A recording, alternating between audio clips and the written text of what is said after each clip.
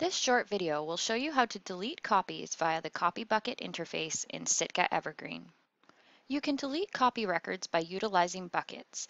The advantage to this method is that you can keep a record of items deleted by not emptying or deleting the bucket.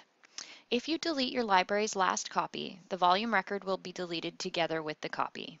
If this is also the last copy for the title, no other Sitka libraries have a copy, the bibliographic record will also be deleted. So in most cases, you only need to delete the copy record. Evergreen will delete the volume and bibliographic records automatically. To access the Copy Bucket interface, click on Cataloging and select Manage Copy Buckets.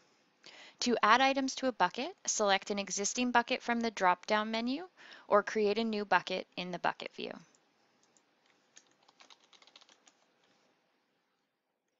Scan item barcodes into the box in the Pending Copies pane.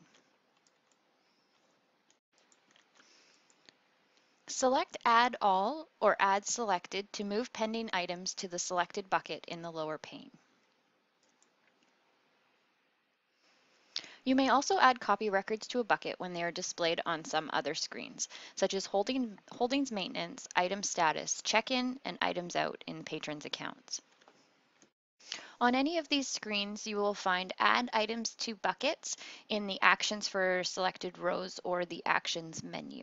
Just look for Add Items to Buckets.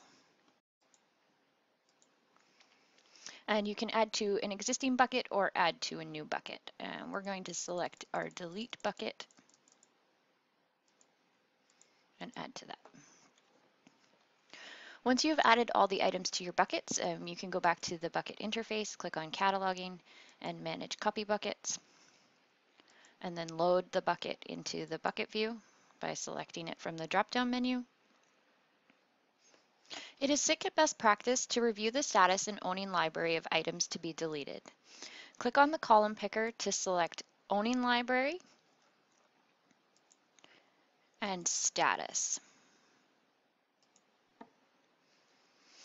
Items with checked out status should not be deleted.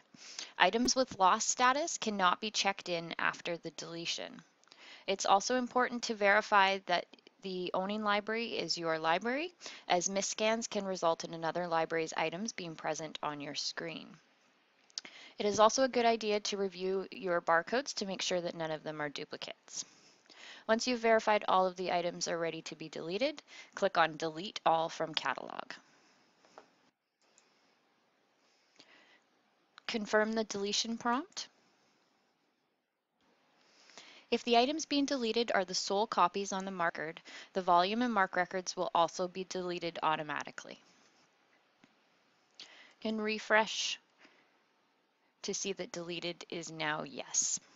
Thank you for watching this video, and for more information, please visit the BC Libraries Cooperative website.